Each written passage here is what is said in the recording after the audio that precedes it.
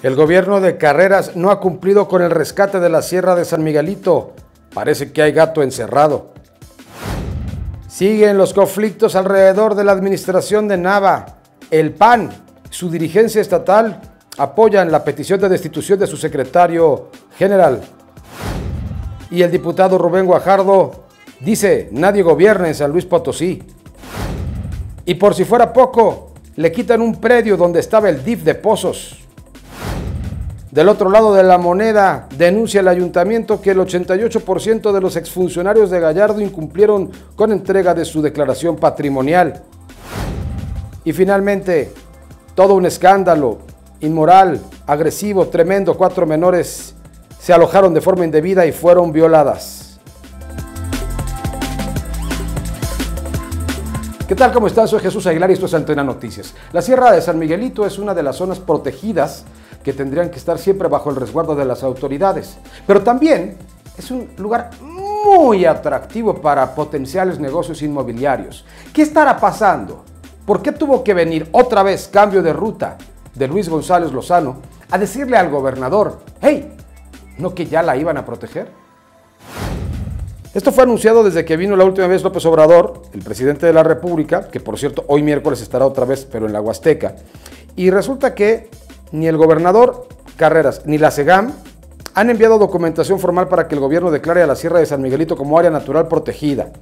Esto lo denunció ayer justamente la organización Cambio de Ruta. Se hicieron solicitudes de información a la Secretaría Particular del Mandatario Estatal de la SEGAM y no se ha iniciado ningún trámite para la declaratoria. ¿Habrá gato encerrado?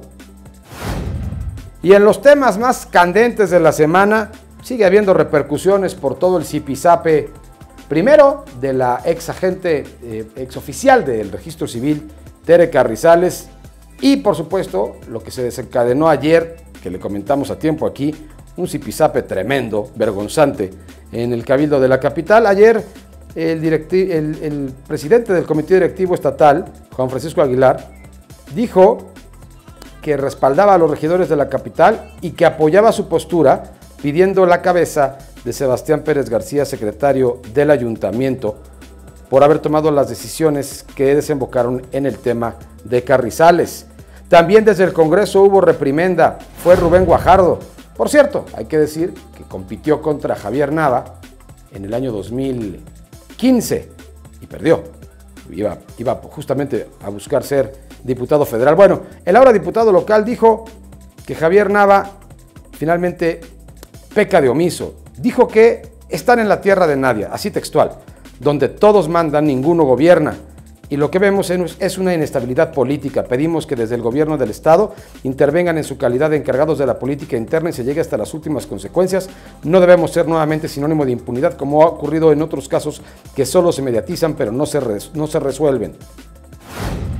Y le digo que si le está yendo en los últimos tiempos mal al ayuntamiento, pues están mal y de malas. Perdieron un predio en pozos que se destinaba para el DIF municipal y protección civil de esta delegación y a través del juzgado segundo del ramo mercantil, el donante Fernando Ramón Zárate Boque recuperó el predio porque pues porque el propósito para el que se había donado no se cumplió y entonces se los acaban de quitar, como si estuvieran bollantes. Y ya para finalizar, le platicamos dos temas rápidos. Primero, que ayer el ayuntamiento puso otra vez el dedo en la administración anterior. Fue ahora el Contralor Municipal José Mejía Lira quien explicó que 816 extrabajadores y exfuncionarios municipales de la administración de Gallardo no presentaron su declaración de conclusión, o sea, eran 927 trabajadores. Dijo que les harán requerimientos para el cumplimiento de esta obligación, por lo ordena la ley, tienen que al salir decir pues, cómo, están, cómo estaban sus bolsillos. Y para finalizar, un tema penoso.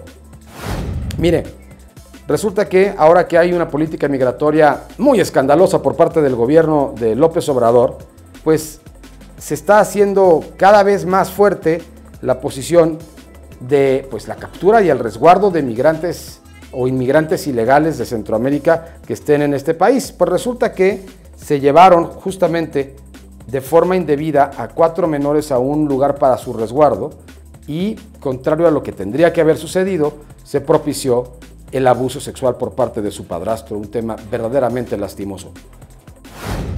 A nombre de este equipo, gracias por su atención y compañía. Mi Twitter, Jesús Aguilar SLP.